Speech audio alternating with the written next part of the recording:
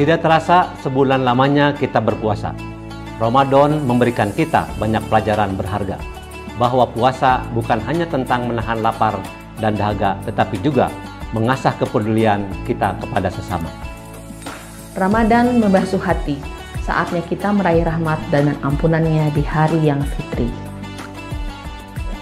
Idul Fitri merupakan momen yang penuh makna, serta kita nantikan bersama dan saling menunjukkan kasih sayang yang tulus kepada sesama. Semoga di hari yang fitri ini kita dapat merayakan dengan penuh kegembiraan dan menikmati akan indahnya kebersamaan. Mari kita rayakan hari kemenangan dengan berbagi kebahagiaan serta saling bermaaf-maafan. Kami segenap keluarga besar Dinas Komunikasi dan Informatika Kabupaten Kuningan mengucapkan Selamat Hari Raya Idul Fitri 1 Sawal 1445 Hijriah. Minal aizin wal faizin, mohon maaf lahir dan batin.